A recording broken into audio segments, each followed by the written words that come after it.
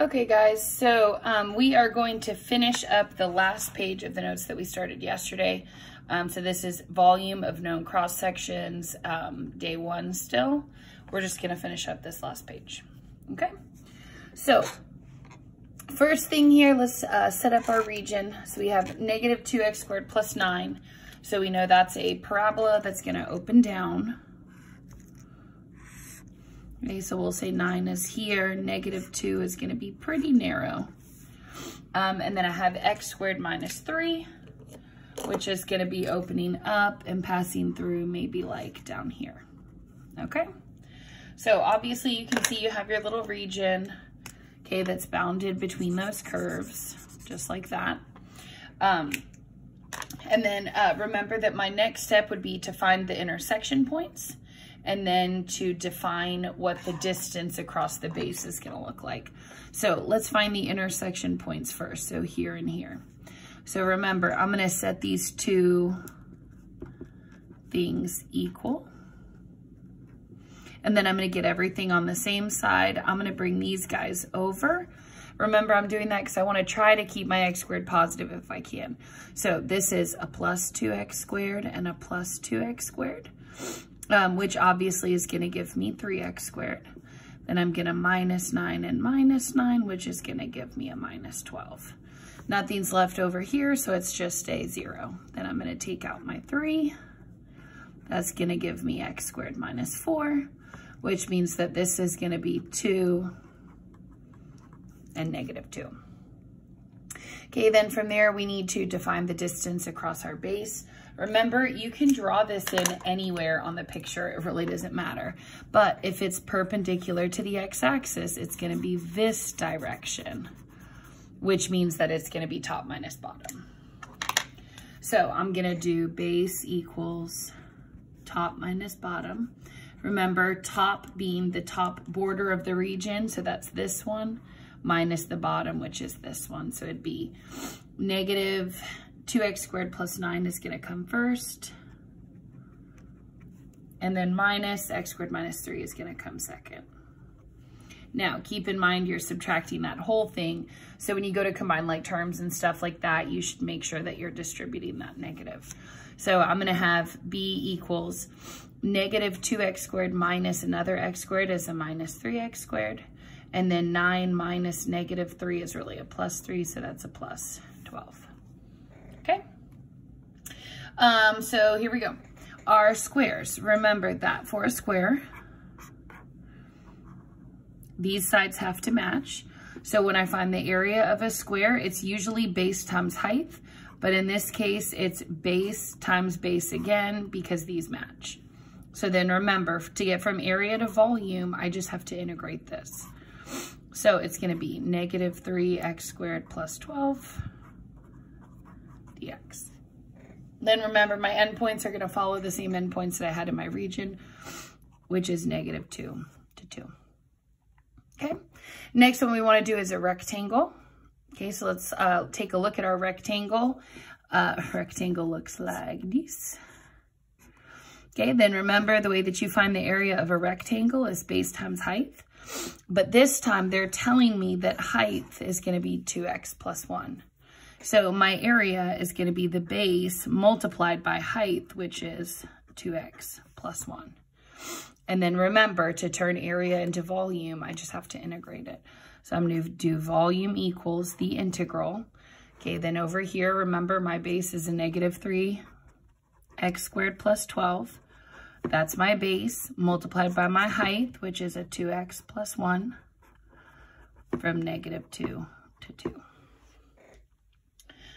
All right, next one, we're to do a triangle. Okay, so triangle, think about that. Doesn't tell us it's a right triangle, so we don't know. Okay, but remember area of a triangle is 1 half base times height.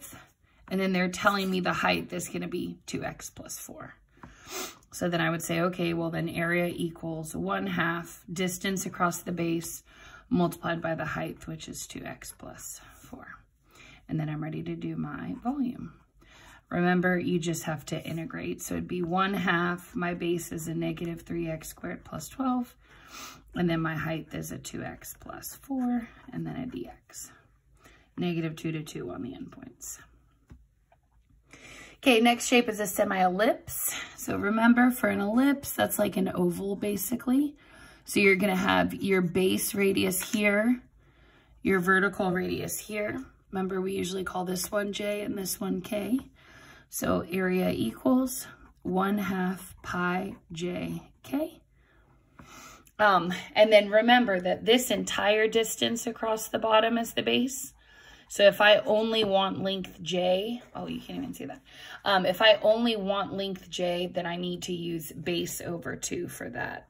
So it's a half pi base over 2. And then they tell me that for my ellipse, my height is going to be 4.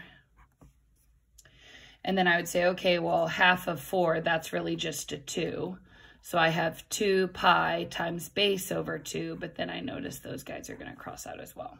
So really, it's just going to be pi times the base. And then I can sub back in uh, my substitution here for the base, which is negative 3x squared plus 12. Sub that in right here, and then we'll have our volume.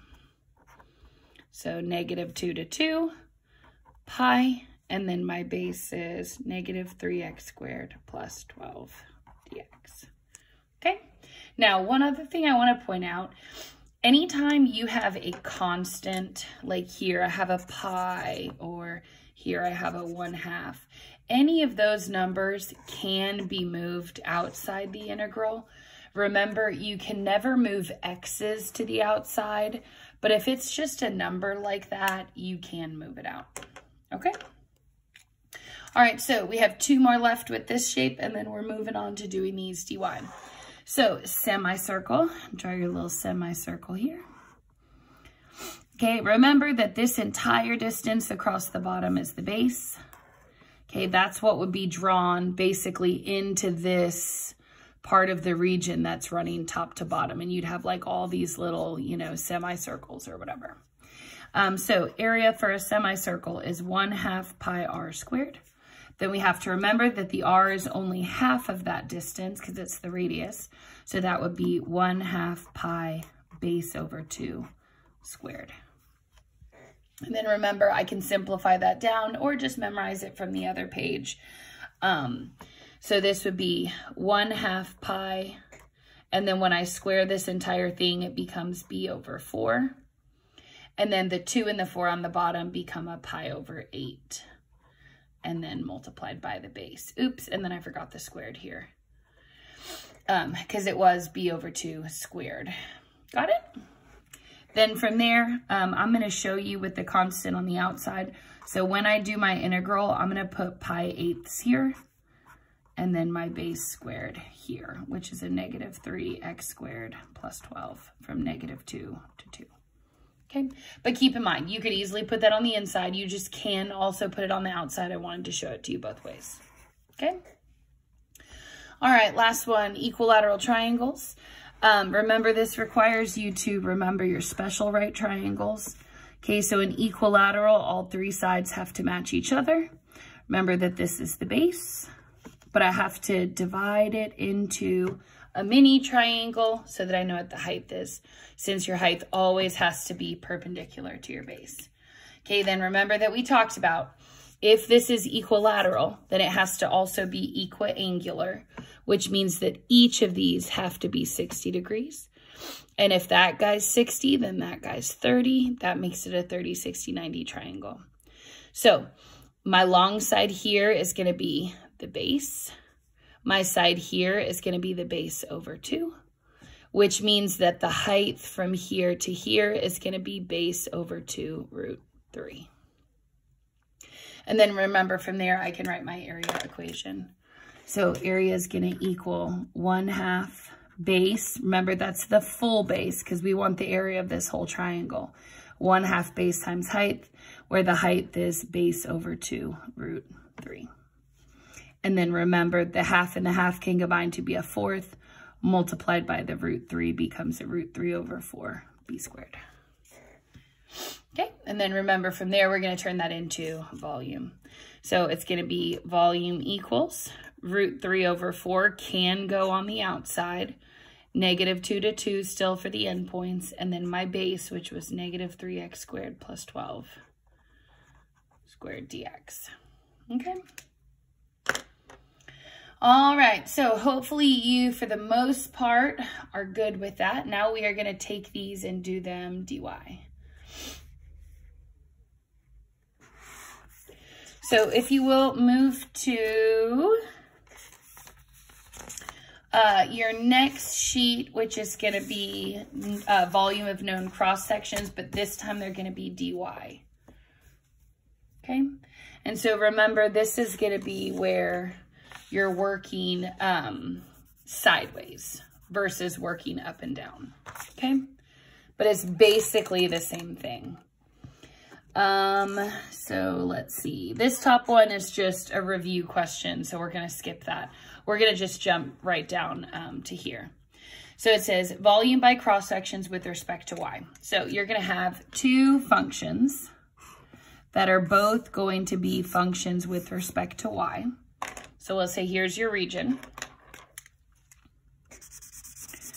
Okay, let's talk about some of the big differences. Um, so cross sections are going to be taken sideways. That's going to be your base, which means that instead of being perpendicular to the x-axis, they're going to be perpendicular to the y-axis. Okay, you can see the y-axis is here. And so if I'm taking my bases this way, then that means that um, I'm going to be perpendicular to the y-axis. Second thing, your integration boundaries are going to be the y values here and here. So we'll say this is y equals c, this is y equals d. So when I set up my integral, it's going to be from c to d. And then my area is going to be a function of y. Okay. Now, um, the other thing here, this is very important, your equations have to be in x equals y stuff form. And then your base region it's running sideways, but it's going to be the right boundary minus the left boundary. Okay? So it says, consider the same region enclosed in the first quadrant by 3x squared, the y-axis, and the horizontal line y equals 12. So let's draw it. So 3x squared is here. Horizontal line y equals 12 is here. But then it also says that I want to include the first quadrant only and that I need the y-axis to be a side. So that means I'm actually just looking at this distance right here. So it says, sketch the graph and label the equations in terms of y. What that means is that your line has to be an x equals form. So if I'm looking at y equals 3x squared, well, then I'd have to divide the 3 across, so now it's a y over 3 equals x squared. And then I'd have to square root both sides. So that equation is going to be x equals the square root of y over 3. That's this border now. Now, keep in mind that technically when I square root, I get a plus or minus the square root of y over 3. This is the plus side, and then this over here would have been the minus branch of that. Okay? So kind of like you can have a square root go up or down. Now my square root's either going to be on the right side of the y-axis or the left side. Okay. Um, and then the other thing too, a horizontal line, you can never change that to be an x equals. So you don't have to worry about that. Um, and then this line here, if this is the y-axis, we're going to call that x equals zero. Okay. So it says sketch up and uh, set up an integral to represent the area of region R. That's this guy with respect to y. So I would say area equals. Then I need to give my y values of my endpoint. So obviously my x squared starts at 0 and then it goes up here to 12. So 0 to 12. And then I need to do the right side minus the left side. So I'm going to be doing this side minus this side. This is the right border. This is the left border. So when I set those up, I'm going to do the square root of y over 3 because that's this right side minus this left side, which is a 0. Now, obviously, you don't have to put the minus 0. You can if you want to, but you don't have to. Okay? Um, all right, then second part of the question says set up an integral to represent a solid uh, to represent the volume of a solid with region R as its base with square cross sections perpendicular to the y-axis. This is what changes it to be dy. Okay, when I draw that cross section perpendicular to the y-axis, look at the direction that it runs. If this is the y-axis and I'm perpendicular to that, I'm running sideways. So that tells me that my base is going to be right to left. Okay, which is exactly like area. It's not like it's something you've never seen before. So my base is the right side, which is root y over 3, minus the left side, which is 0. Okay, then I want square cross section. So if my shape is a square, area is going to be base squared. And then remember, if I want volume, I just have to integrate that. So I'm going to do y over 3 minus 0 squared dy. Notice, these are y's, that should be a y, these should be y's. So remember, my bottom was a 0, my top was a 12, so it'd be 0 to 12. Now, the other thing that I want to just kind of briefly point out about is that this type of integral you should easily be able to work out by hand. Um, so when you square the square root, these are going to end up crossing out to where this is really just the integral from 0 to 12 um, of y over 3. And that should be a pretty easy integral for you to do by hand. Um, and I wish I hadn't written so big, but I did. So I'm going to just do it over here just to show you. So remember, y over 3 is the same as a third y. And I like that sort of presentation better because then it reminds you you need to add 1 to your power. So that would become a y squared.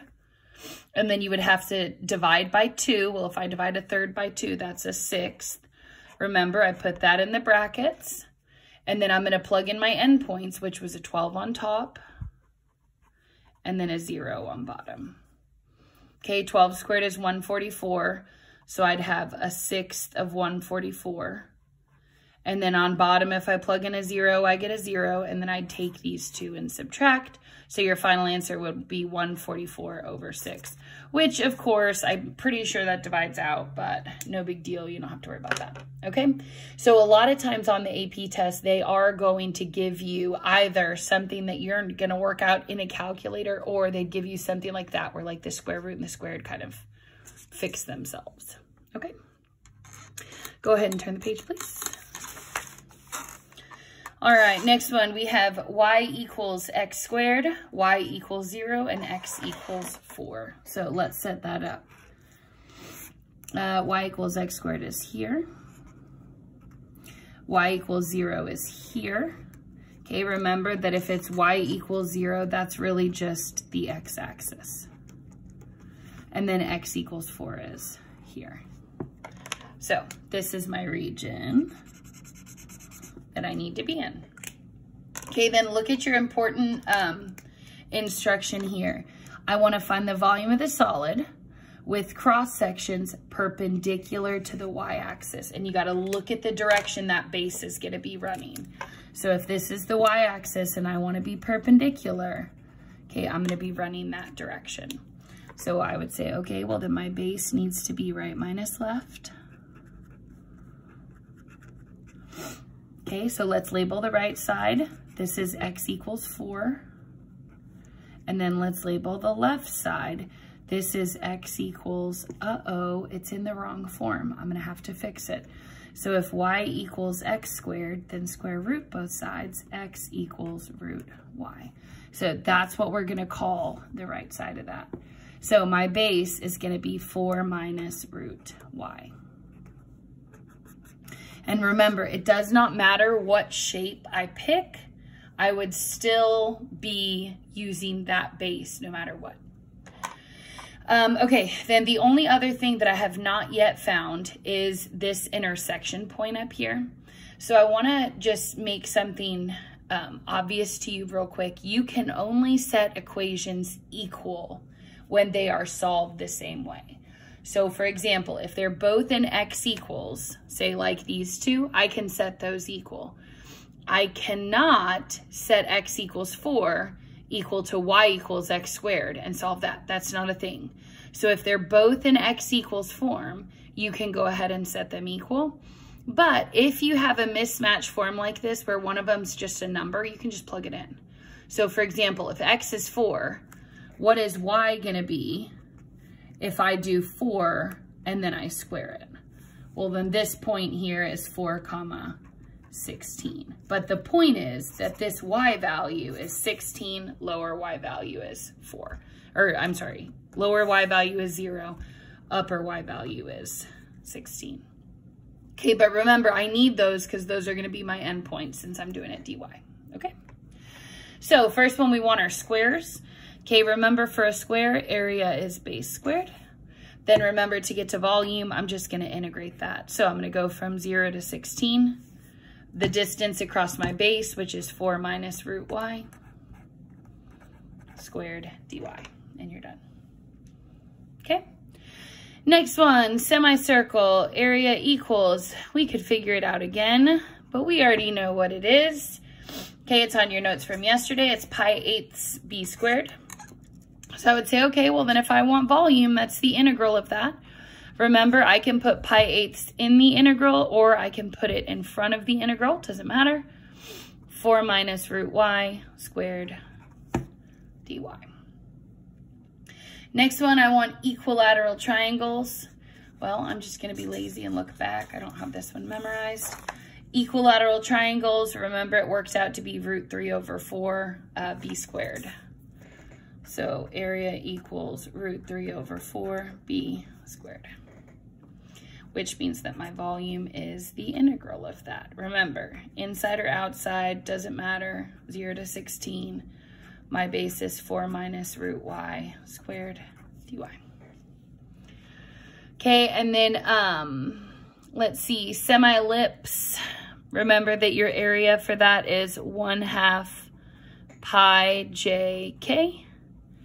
Um, and then here it says that the height is 4 times the length of the base. So let's just kind of sketch that here.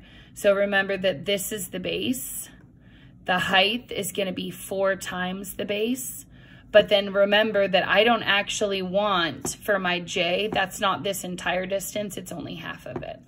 So I would have 1 half pi. j is this distance, which is base over 2.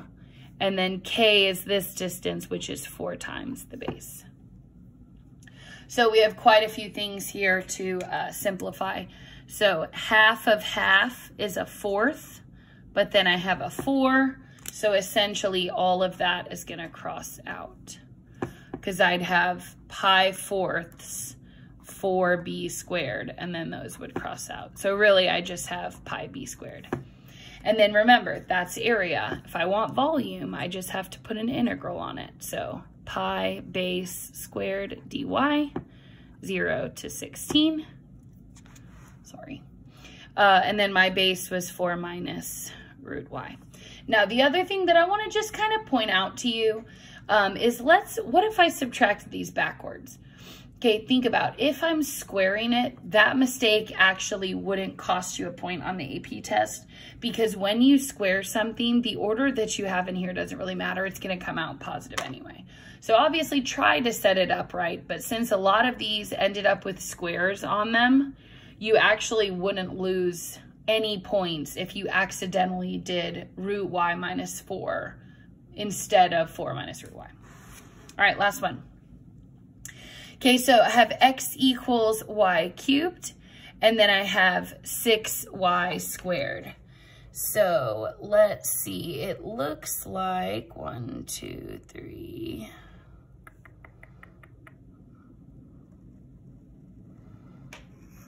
Okay, it looks like this is the squared function. So this is x equals 6y squared. And then this one over here is going to be the other function, which is x equals y cubed.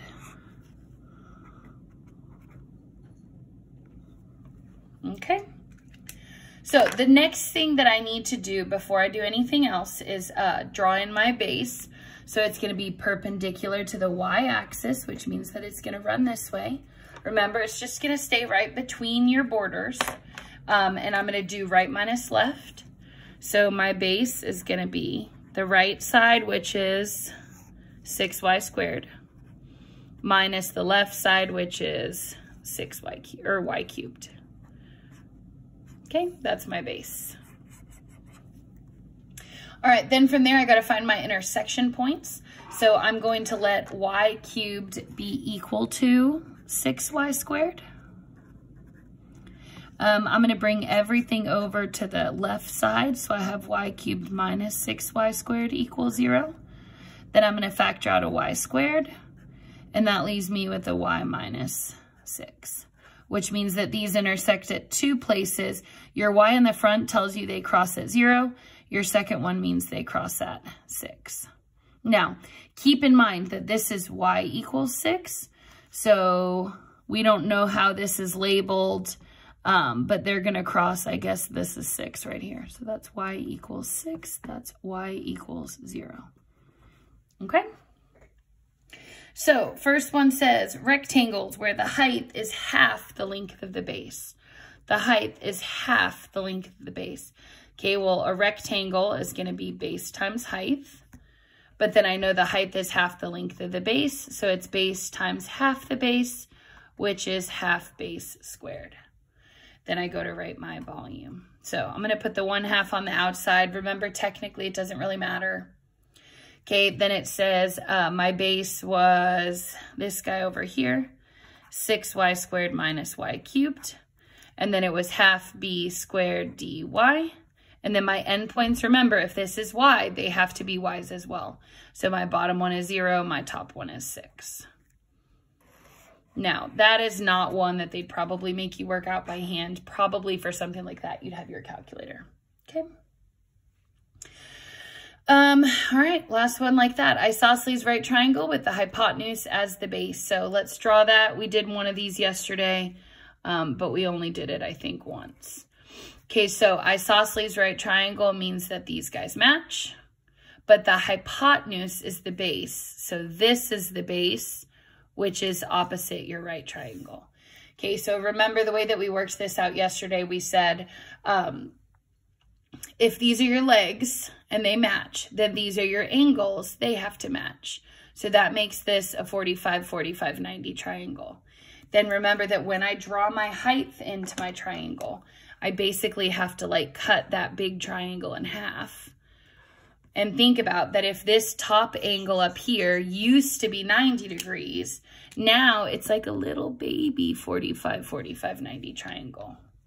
Which means that in this little baby triangle here, okay, this side and this side have to match.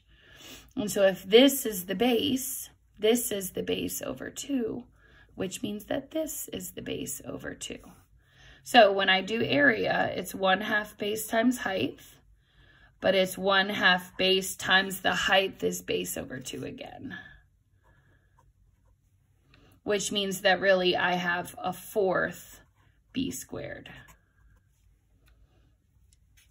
Okay.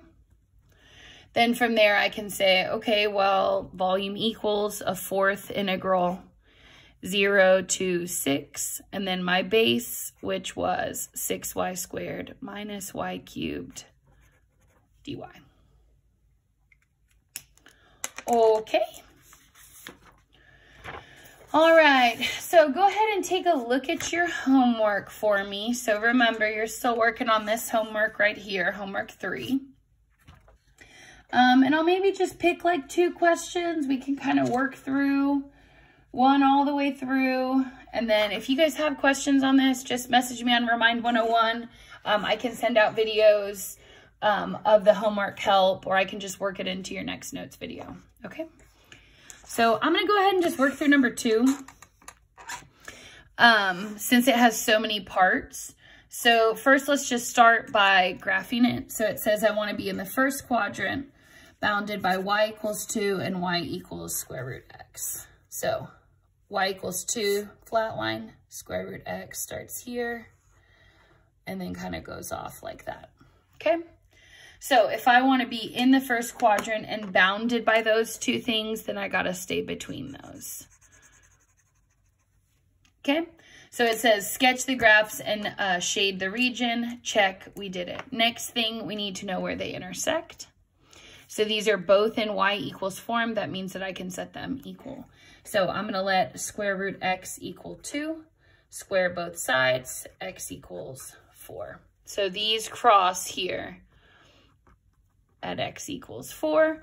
Obviously, my region is going to start at 0 because it tells me that I have to be in the first quadrant, okay?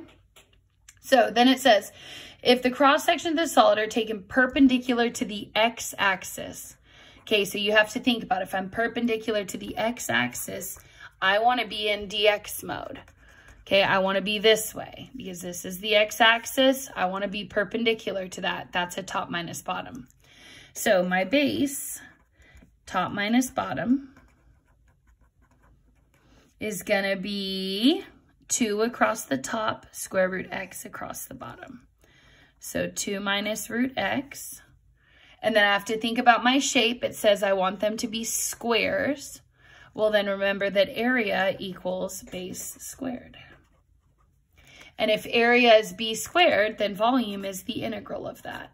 So I'm going to do 2 minus root x squared dx. Okay, then from there, my endpoints, this is x equals 0, this is x equals 4, so I'd go 0 to 4. Okay? All right, take a look at the next one. It says, if cross sections of the solid are taken perpendicular to the x-axis and they're isosceles right triangles, Okay, well, that was the root 3 over 4b squared. I'll just remind you of that. You can always go back and rediscover those um, or just memorize them. Um, then it says, what is the volume of the solid? Is that right? I saw Isosceles right triangle. Dang it, this was for an equilateral. Never mind. We're going to have to set it up. Um, I just looked back the root 3 over 4 is when it's an equilateral. So let's set it up. So we're going to have a triangle. Okay, it says it's a right triangle and it's isosceles, but it says that one of the legs is in the region. So that means that this is my base here, is a leg. And remember, legs are always the ones that are not um, the hypotenuse. So if this is the base, but it's isosceles, then these are the same. So area is going to be 1 half base times height, but really the base and the height are the same. So it's going to be 1 half b squared. Okay. And then from there, remember volume is just the integral of that. So I would go from 0 to 4 because those are x values. And then I would do 1 half and then my base, which is 2 minus root x squared dx. Okay. All right, last one. Uh, so it says, resolve the boundary to be written in terms of y. Then write an integral expression for the volume with rectangular cross sections perpendicular to the y-axis where the height is half the base. Okay, so I'm using the same region. Here's what's going to change though. Okay, I'm going to take my exact same region, okay, which is right here, but this time, when I cut my base in, I have to do it perpendicular to the y-axis. That's this way. And that changes the entire question to where it has to be done dy. So let's talk about what's going to be different. The first thing that's going to change is what I call the equations. So for example, originally this was y equals square root x. Okay, but remember, I need it to be an x equals form. So if y equals square root x, then square square x equals y squared. Now you can imagine that if I drew the other side of that, that is y squared, right? Okay, then the other thing that has to change is that I need to have a name for the y-axis, which is this side. So if this is the y-axis, I'm going to call that x equals 0. So my base is going to be right minus left the right side here is x equals y squared minus the left side, which is zero. Okay, then the next thing that I'm gonna do is I'm gonna find the y values of the region. So down here is obviously zero. And then up here, this was y equals two. So I don't even really have to set anything equal. I just have to look at this equation, y equals two is where I'm gonna stop. So I'm going to do um, next the shape. So it says that I want the height of the rectangle to be half the base. Okay, well, remember area equals base times height for a rectangle. Okay, because that's what it tells me that it is. But then it tells me that the height is half the base, which means that I'm doing the base times half the base, which is half b squared. And then I'm ready to set up my volume equation. So integral 1 half b squared dy. Then remember we said our base is top minus bottom, which is y squared. Technically minus 0, but you don't have to put it. And then my endpoints are 0 to 2. Now, this would also be one that would be really, really easy for you to work out by hand. Um, so imagine if you did have to do this one all the way out. Let me get a sheet of scratch paper here. And you don't have to do this, but it's something to think about, right? Um, so I would have integral 0 to 2, okay, 1 half, and then y squared squared is really y to the fourth dy. And then think about, I could just do regular power rule on that. So my y is going to bump up to be to the fifth power. Then divide by 5, now that's a tenth. And then I would plug in 2 and 0 and subtract. So 2 to the fifth is 32. And then 0 is 0. And then you'd subtract these two. So you'd have 32 over 10, which would be uh, 3.2. Now, could you also type that into the calculator? Absolutely, sure. Okay, but it's just something to think about that a lot of these integrals, either it'll be easy enough that you can work it out by hand or they give you a calculator. Um, okay, let's do a, a two off this back page and then we'll be done. Um, so let's do um, this one, okay? So it says the region bounded by x equals ln 5y and x equals y squared over 16 form the base of the solid. Now, the obvious uh, thing here, x equals y squared is going to be the quadratic. Okay, now I know you can't really see the other side of it. Okay, but this one is x equals y squared over 16 which means that the other side over here is going to be x equals ln 5y. Okay, that's this side here. Um, so then it says, for this solid, um, each cross-section perpendicular to the y-axis is a square. Okay, so the next thing that I would say is, okay, well then area equals b squared. Oh, that's my timer. Give me one sec. Um, and then the next thing that you would do is find where these two guys cross by typing them into your calculator.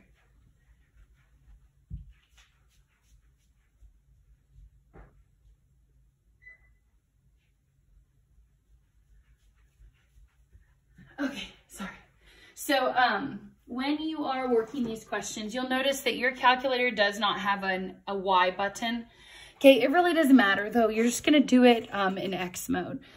So for my first y equals here, okay, hopefully you can see that. Um, I'm gonna do ln 5x. Then for my second equation, I'm gonna do x squared over 16. Okay, then I'm gonna graph it. Now, obviously, my picture and this picture are like flipped of each other because I have it in the wrong mode, but it doesn't matter, no big deal. Second trace five. Enter, enter, enter. And it says that they cross at, this is 0.2005. Then I need to find the other one. I'm going to guess, it looks like it happens at like 8 maybe. Okay, so this one here is y equals uh, 7.6336. Okay, now one thing you might be wondering is why I'm taking the x values. Remember that in my calculator, I typed my y's in as x's. So when I want these y values, I really want the x values in the calculator because that's the letter that I used, okay? So you're if you're going to switch the letters when you type it in, you're still looking for an X. Even though really it's a Y, you don't have a Y button, so you used an X, okay? So uh, we're going to do base next is going to be cut this way, perpendicular to the Y axis, which means it's going to be right minus left.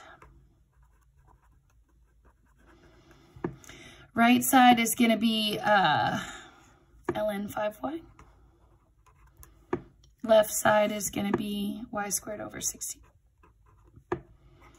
Okay, that's my base. And then remember, no matter what the shape is, I would still be cutting that base the exact same way, right to left. Okay? So then from there, I would say, all right, well then volume equals the integral from point 2005 to 7.6336. And then I need to do my base squared, which was my ln 5y minus y squared over 16 squared dy. And then remember, when you're typing this into the calculator, your calculator doesn't care if it's a y or an x. You're just going to use the x button. Okay, so we're doing math 9. We're going point 2005 to 6 point, oops, wrong number, 7.6336. And then I'm going to do parentheses alpha trace y1 minus alpha trace y2 quantity squared dx. Okay. Now, one thing too to point out is that if I had accidentally written these backwards in the calculator, like let's say my y1 and y2 were reversed, okay, it wouldn't make a difference because this squared is going to fix it to always be positive, okay? So I got 19.443. That is answer B. Okay. Um, last one, let's do number seven. Okay, so it says you have x equals y squared. That's this one. And then you have x equals 2y plus 3. Okay, obviously this one has to be the squared because it's quadratic okay, versus the other one is linear. Okay, then I have my region right here that I can just go ahead and shade. Um, and then it says from there, my bases are going to be perpendicular to the y-axis. So remember, if this is the y-axis, that means I'm cutting perpendicular. So I'm gonna do right minus left, and I'm gonna do it dy. So that tells me this is a dy integral, okay? So from there, my base, let's draw that next. My base is right minus left. My right side border is this line here, which is 2y plus 3, minus my left side, which is here, which is y squared.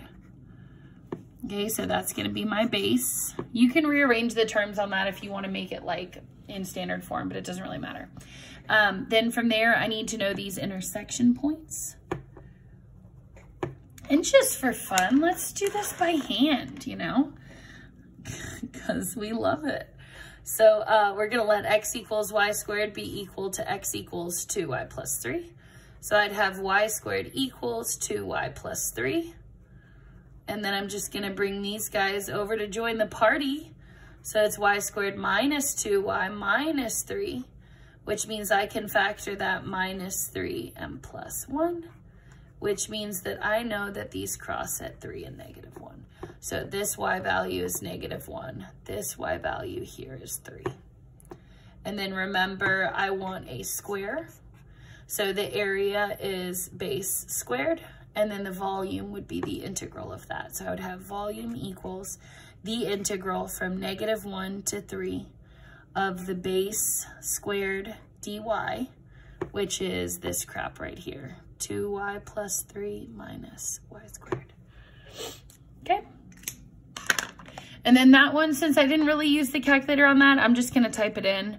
Um, I'm not going to use y1 and y2 because I don't really need to. So I'm going negative 1 to 3.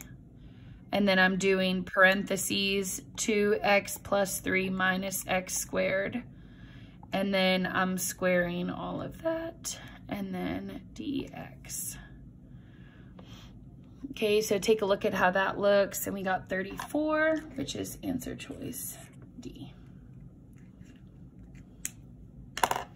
Okay, good job.